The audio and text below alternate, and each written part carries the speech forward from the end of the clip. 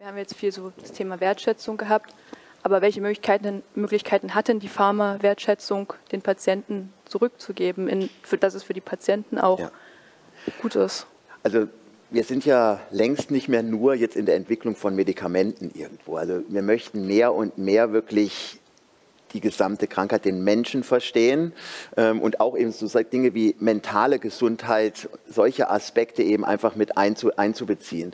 Und was dafür notwendig ist, zum Beispiel da möchte eine ähm, Patientenorganisation, möchten einzelne ähm, praktisch eine Organisation gründen. Auch dabei könnte könnten wir helfen, könnten wir unterstützen, ohne da jetzt ähm, selber eine große aktive Rolle zu spielen. Aber wir könnten unterstützen, wir könnten einen Beitrag eben äh, leisten.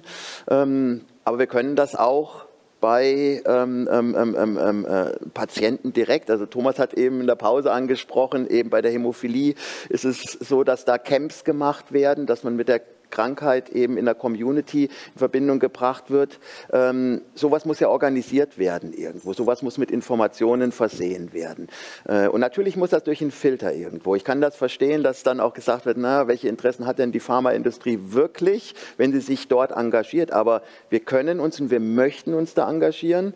Ähm, und manchmal ist auf den zweiten Blick mehr möglich, Wiebke, als vielleicht am Anfang, wo man sich noch gar nicht kennt und meint, na, was kann die Pharma da letztendlich leisten? Ein Gespräch mal darüber und könntet ihr dort unterstützen oder dort kann vielleicht was ähm, sichtbar machen, was auf den ersten Blick nicht da ist.